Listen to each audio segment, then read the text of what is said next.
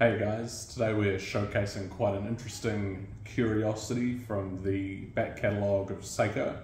So this watch is probably 25 years old now, uh, and this is a Seiko Melody, which is not a very commonly seen model. As you can see, quite a small dial uh, with the Roman numeral hour markers around the outside. And then if you look closely, you'll see sort of like a, a musical script across the dial. Um, and that is because this Seiko Melody, when you push this button here at 8 o'clock, it plays a little tune and the second hand dances along. Now that tune is the, the famous Raindrops Keep Falling on My Head, uh, written by Burt Bacharach.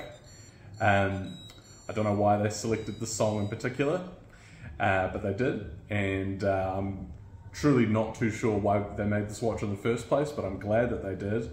Uh, and this is available here in store, this very interesting watch in store and online. Thanks very much.